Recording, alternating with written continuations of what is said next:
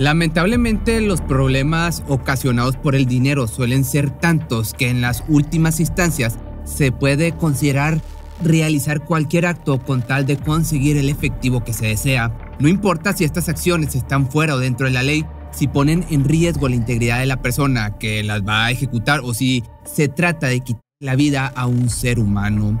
Cada vez vemos más noticias relacionadas a situaciones como la de esta historia, donde un hombre se a una mujer en Pakistán, misma que anteriormente había ganado Miss Asia en el año del 2012 y que gozaba de una buena situación financiera con el fin de solventar sus deudas y las de su cómplice. Lo que no esperaban era que la situación se le saliera totalmente de las manos luego de que la joven madre intentara con todas sus fuerzas escapar del cautiverio. Femina Chowdhury era una modelo de origen pakistaní había nacido en una familia de cierto modo acomodada en aquel país, por lo que nunca pasó por hambre o alguna necesidad. Siempre estuvo protegida por sus padres. Desde pequeña había soñado con caminar por pasarelas y ser famosa, lucir ropa de marca y tener un buen automóvil. Sus metas cada vez estaban más cerca de cumplirse, pues concurso en donde participaba era concurso que ganaba. Así logró rápidamente hacerse de un nombre, cuando en 2012 se coronó como Miss Asia en un certamen en el que salió victoriosa sin mayores complicaciones. La vida de Chowdhury parecía ir tomando forma a sus sueños cuando niña. La fortuna le sonreía.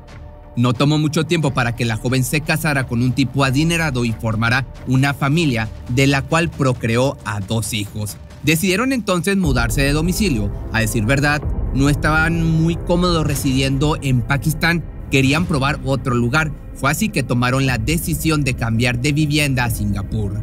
El cambio supuso al principio un gran reto para todos, pero buscaban un aún mejor estilo de vida y nuevas oportunidades de empleo. Femina estaba lejos de renunciar a sus objetivos. A pesar de haber tenido descendencia a una temprana edad, estaba dispuesta a esforzarse el doble.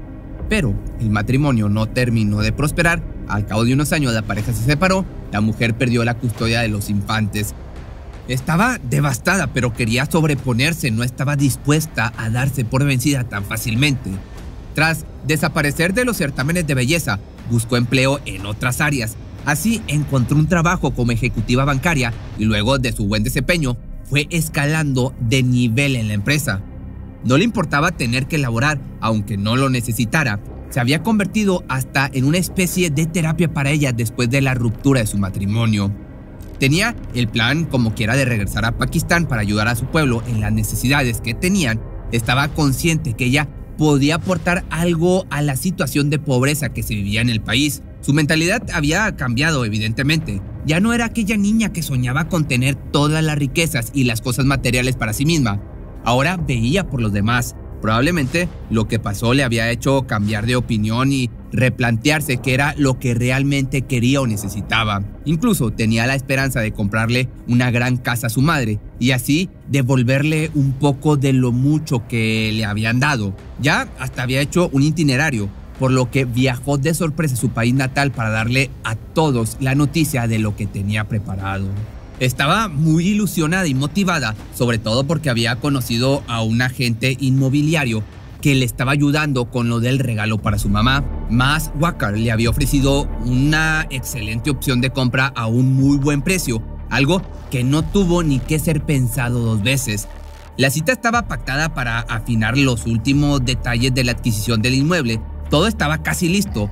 Femina acudió a la hora y fecha pactada iba a poder ver todas las casas para ver si de casualidad no había alguna otra oferta que le gustara más.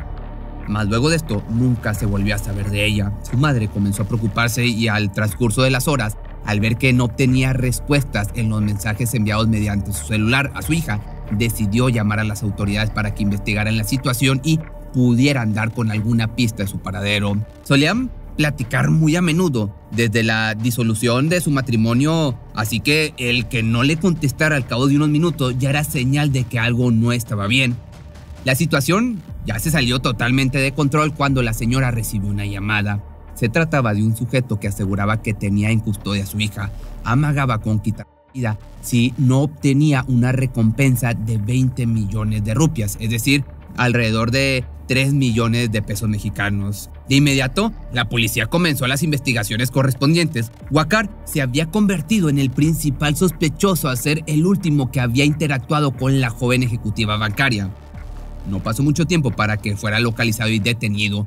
En un inicio, comentó no saber nada sobre la desaparición de esta mujer, pero luego se quebró y confesó la verdad.